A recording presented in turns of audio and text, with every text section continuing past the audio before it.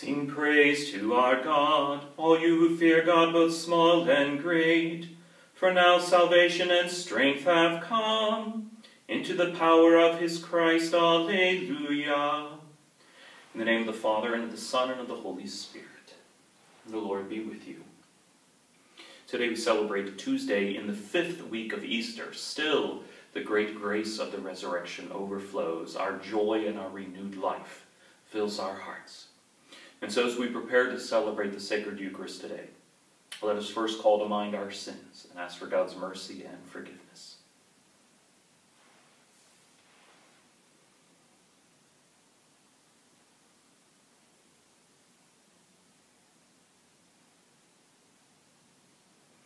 Lord Jesus, you came to gather the nations into the peace of God's kingdom. Lord, have mercy. Lord Jesus, you come in word and sacrament so to strengthen us in holiness. Christ, have mercy. Lord Jesus, you will come in glory with salvation for your people. Lord, have mercy. May Almighty God have mercy on us, forgive us our sins, and bring us to everlasting life. Let us pray.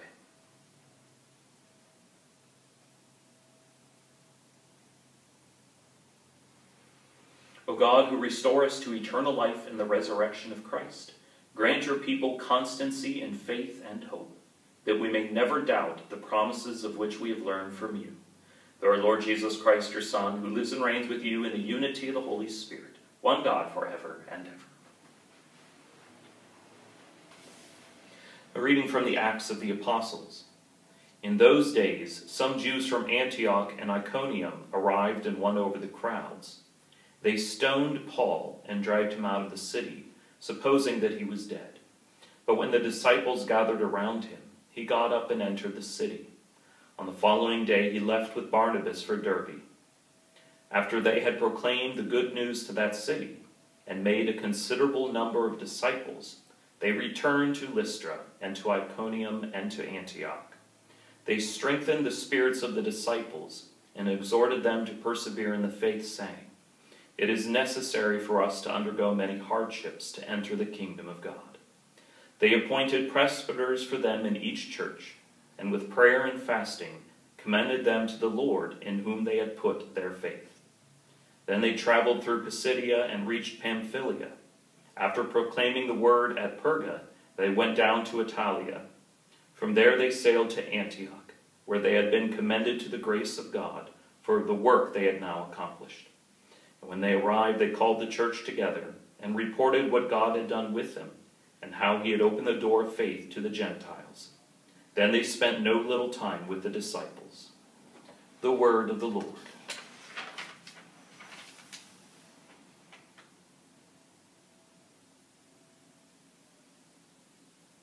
Your friends make known, O Lord, the glorious splendor of your kingdom.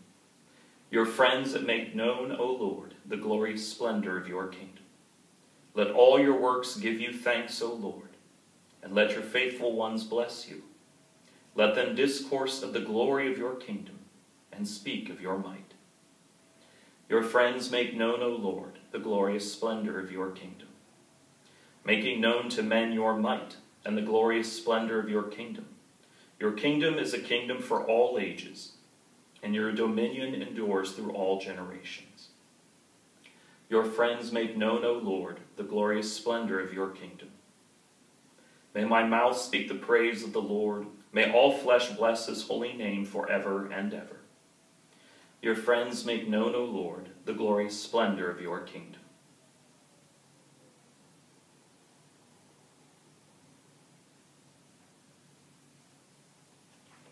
Alleluia, Alleluia, Alleluia.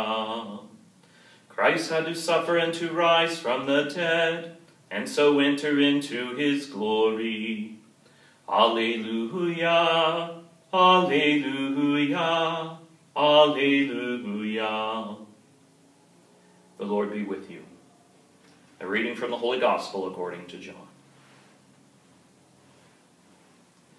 Jesus said to his disciples, Peace I leave with you, my peace I give you.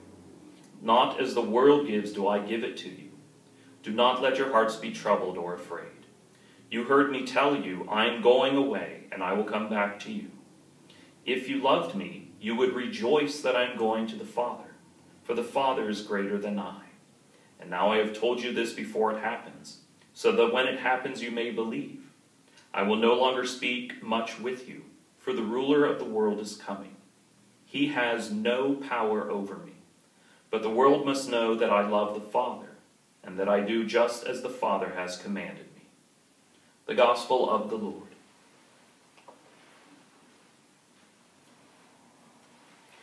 We can speak in broad terms about persecution, we can speak about uh, different church persecutions, we can talk about the misunderstanding, persecution, and martyrdom in the early church. Acts of the Apostles, we start to see more and more killings.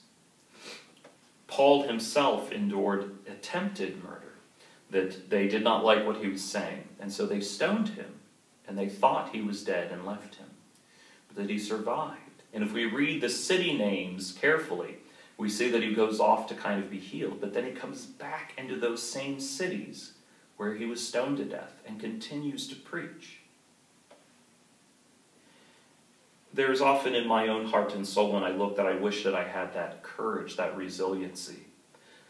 When we look at small persecutions, the misunderstandings, the gossips, the misunderstandings, people that attack, um, I shy away.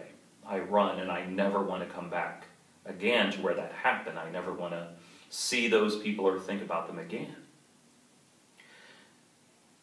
And to be able to forgive, to be able to move on, to be able to hold fast to the faith in our hearts. For me, when attacked, for me, when judged or gossiped about, it kind of, it just shakes the core of my being. I wish I was stronger, but I'm not. Shakes my whole understanding of the world, of my own life. It's just, it's very sad that just someone saying a misthought word someone misjudging, that it just is this existential crisis for me. But the, the, repeated mantra in that is the reminder to me of these different words of scriptures, not only of seeing that others have been attacked and killed and that I am still alive, but also this reminder of the resurrection, that I've continuously been brought back because I rely on God that I continuously repeat my prayers, that some days it's this frantic repetition of many, many, many thousands of our fathers. But it is always through this trust that Jesus will get us through. In these small ways each day that will prepare us for the bigger decisions of facing others. Jesus promises us that he leaves us his peace. And there's days when I don't feel that peace but returning once again and again back to Him, trusting that He will bring me this peace. I found with time that I return back to an even keel. I can continue to love and serve. But no matter what, no matter what goes on, we are still called to be people of peace, still called to be people of love, still people who reach out to others, not closed in on ourselves. So, though we are separated, though we are spending all this time by ourselves and shut off, we still reach out in loving prayer to others. Not posting things to attack anyone, not posting our frustration and our anger, but taking that to God so that He can give us the peace we need to rise again and face each day as it comes.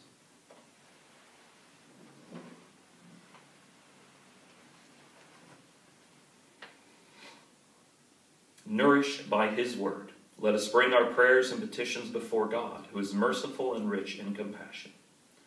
For the church, the people of God, may the Lord continue to strengthen us in faith and charity. Let us pray to the Lord. For our civic leaders, may wisdom and justice guide them in their work for the common good. Let us pray to the Lord. For those who face chronic illnesses or pain, for those struggling with the coronavirus, their families, and the unsure anxiety of our times. May the Lord strengthen and encourage them in their trials. Let us pray to the Lord. For our own faith community, may all our hearts be filled with the peace only Christ can offer. Let us pray to the Lord. For all those who have died, especially Giuseppe Galeota, the intention of this Mass, may, they, may the Lord grant them eternal joy in his kingdom. Let us pray to the Lord. Merciful God, hear these prayers we bring humbly before you, and answer them in accordance with your holy will. In Christ's name we pray. Amen.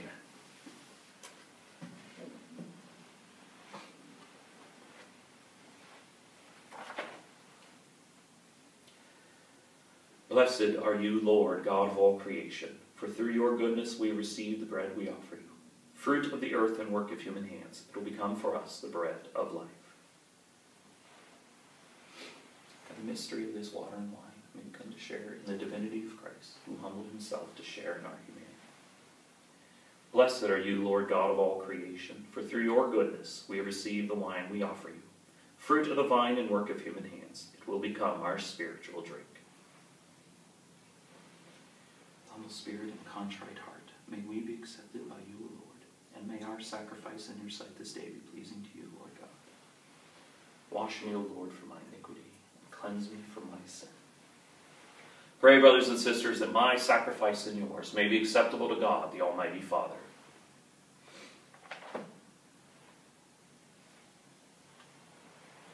Receive, O Lord, we pray, these offerings of your exultant church, and as you have given her cause for such great gladness, grant also that the gifts we bring may bear fruit in perpetual happiness, through Christ our Lord. The Lord be with you. Lift up your hearts. Let us give thanks to the Lord our God. It is truly right and just, our duty and our salvation, at all times to acclaim you, O Lord, but in this time above all, to laud you yet more gloriously, when Christ our Passover has been sacrificed. For he is the true Lamb who has taken away the sins of the world. By dying he has destroyed our death, and by rising restored our life. Therefore, overcome with paschal joy, every land, every people exalts in your praise, and even the heavenly powers with the angelic hosts sing together the unending hymn of your glory as they acclaim. Holy, holy, holy Lord, God of hosts, heaven and earth are full of your glory. Hosanna in the highest. Blessed is he who comes in the name of the Lord. Hosanna in the highest.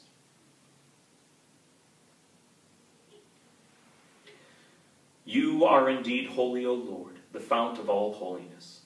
Make holy, therefore, these gifts, we pray, by sending down your Spirit upon them like the dewfall, so that they may become for us the body and blood of our Lord Jesus Christ. At the time he was betrayed it entered willingly into his passion, he took bread, and giving thanks, broke it, and gave it to his disciples, saying, Take this, all of you, and eat of it, for this is my body, which will be given up for you.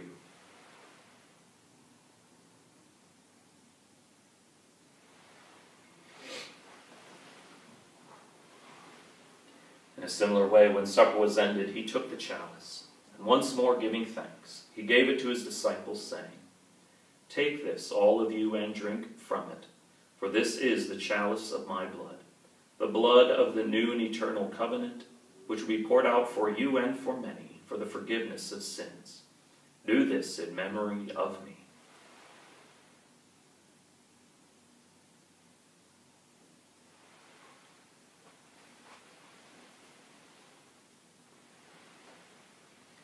The mystery of faith. We proclaim your death, O Lord, and profess your resurrection until you come again. Therefore, as we celebrate the memorial of his death and resurrection, we offer you, Lord, the bread of life and the chalice of salvation, giving thanks that you have held us worthy to be in your presence and minister to you. Humbly we pray that partaking of the body and blood of Christ, we may be gathered into one by the Holy Spirit. Remember, Lord, your church spread throughout the world and bring her to the fullness of charity, together with Francis, our Pope, and George, our Bishop, and all the clergy. Remember also our brothers and sisters who have fallen asleep in the hope of the resurrection, and all who have died in your mercy. Welcome them into the light of your face. Have mercy on us all, we pray, that with the Blessed Virgin Mary, Mother of God, the blessed Joseph, her spouse, with the blessed apostles, and all the saints who have pleased you throughout the ages, we may merit to be co heirs to eternal life, and may praise and glorify you through your Son, Jesus Christ. Through him, and with him, and in him, O God, Almighty Father, in the unity of the Holy Spirit, all glory and honor is yours forever and ever. At the Saviour's command, informed by divine teaching, we dare to say, Our Father, who art in heaven, hallowed be thy name. Thy kingdom come, thy will be done, on earth as it is in heaven. Give us this day our daily bread, and forgive us our trespasses, as we forgive those who trespass against us. And lead us not into temptation, but deliver us from evil. Deliver us, Lord, we pray, from every evil. Graciously grant peace in our days, that by the help of your mercy we may be always free from sin and safe from all distress, as we await the blessed hope and the coming of our Savior, Jesus Christ. Lord Jesus Christ, who said to your apostles, Peace I leave you, my peace I give you. Look not on our sins, but on the faith of your church, and graciously grant her peace and unity in accordance with your will who live and reign forever and ever. And the peace of the Lord be with you always. Let us offer each other the sign of peace. Peace be with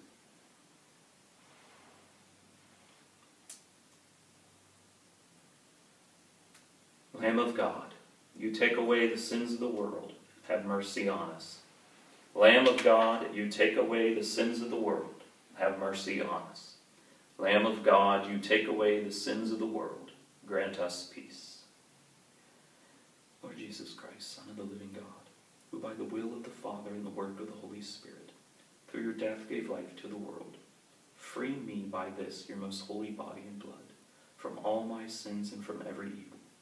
Keep me always faithful to your commandments, and never let me be parted from you.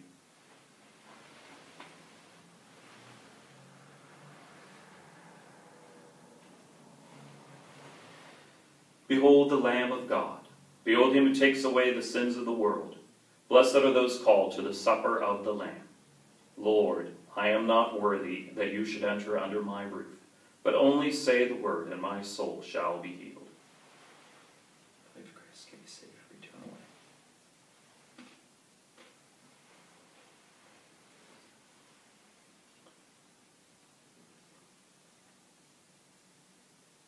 May the blood of Christ keep me safe for eternity.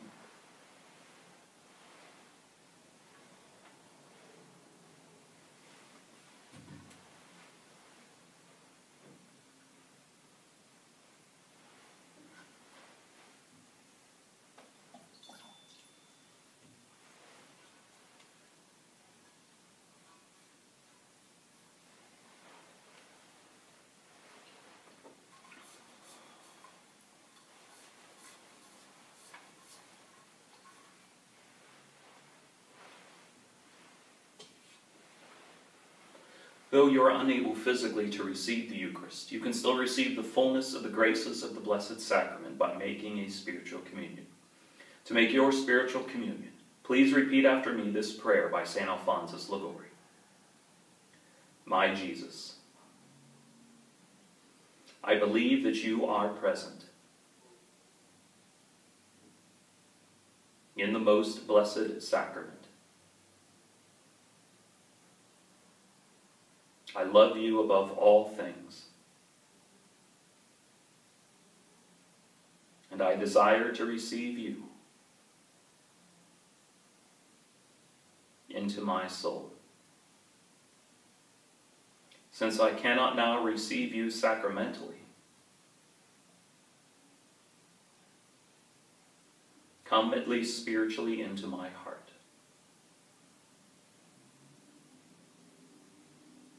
I embrace you as if you were already there, and unite myself wholly to you. Never permit me to be separated from you. Amen.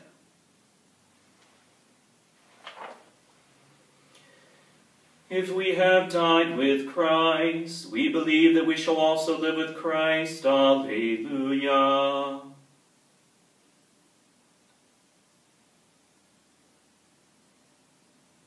Let us pray.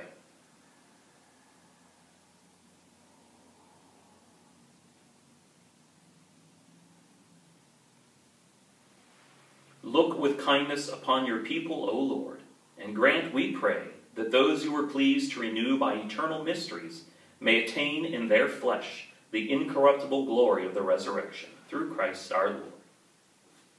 As you were not hearing any responses, uh, Deacon Ryan is uh, on retreat this week getting ready for priesthood ordination. We don't have a date yet for priesthood ordination, but um, he is with uh, his classmates in Cincinnati and Cincinnati is having their ordination this Saturday uh, in private, just parents are invited.